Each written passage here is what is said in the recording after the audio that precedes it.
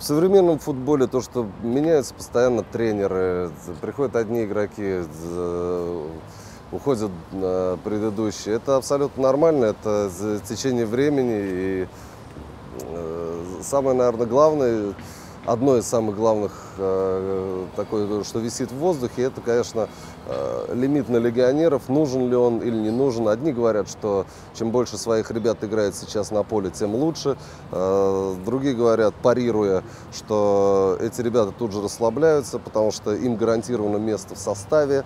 И в этом тоже правда есть. И человек может играть хуже, но по закону он должен играть и получать и за это еще требует э, хорошую зарплату, что, в принципе, тоже понятно.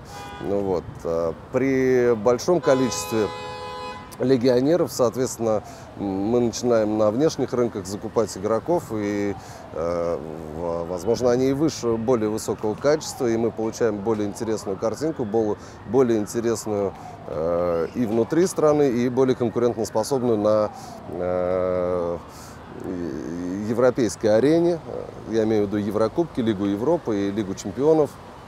Э, В общем, правда есть и там, и там. И, и если честно, конечно, хочется, чтобы в конку- одна правда, чтобы в конкурентной э, борьбе рождались хорошие игроки для наших российских э, сборных, и молодежных, и э, основной главной сборной.